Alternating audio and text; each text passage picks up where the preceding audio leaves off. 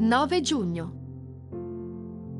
Poiché allora io muterò in labbra pure le labbra dei popoli, affinché tutti invochino il nome dell'Eterno, per servirlo di pari consentimento. Sofonia 3:9. Invocare Dio. Il cattivo uso delle parole può recare molti danni ad un individuo. A volte dalle nostre labbra fuoriescono frasi che feriscono, suscitano liti o creano tensioni. La medesima bocca che si era riproposta di non mentire o non imprecare né spettegolare continua a mutare le relazioni in conflitti. L'ordine qui esposto dal profeta è chiaro. Prima la trasformazione delle labbra, poi il servizio della lode. La Bibbia, infatti, insegna che la bocca parla dall'abbondanza del cuore. Le labbra di un uomo possono essere trasformate soltanto dopo che il suo cuore è stato rigenerato dallo Spirito Santo.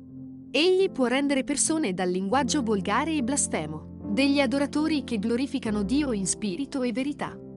Il Signore può purificare labbra che esprimono il sarcasmo più pungente e malevolo in strumenti efficaci per edificare la fede altrui ed incoraggiare chi è nell'angoscia e nel peccato. Vuoi essere un credente di labbra pure? Desideri che le tue parole siano strumenti per annunciare l'amore di Dio e il perdono di Cristo? Invoca con fede il nome del Signore e lascia che Dio crei in te un cuore puro. Avrai allora delle labbra trasformate.